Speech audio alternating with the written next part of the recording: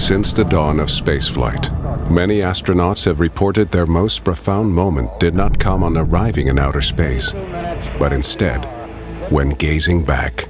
Oh my God, look at that picture over there.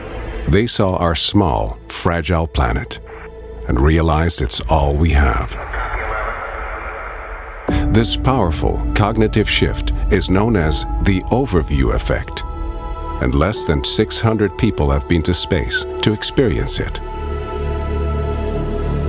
Spearheaded by ESA astronaut Andre Kuipers, the Overview Effect Foundation takes children on a revolutionary educational program designed to inspire a new generation of young ambassadors for planet Earth sending them into space on a custom engineered rocket using virtual reality.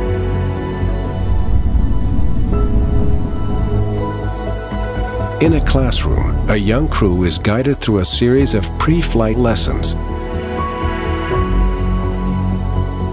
After completing their training, the rocket arrives.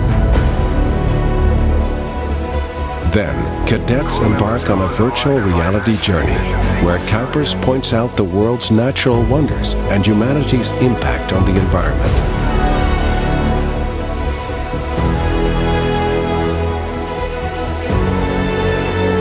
Finally, armed with the magic of the overview effect, cadets hold a press conference, just like real astronauts, with the program traveling to classrooms around the world, inspiring a change in behavior to share our world and its resources more sustainably as we're all astronauts aboard Spaceship Earth.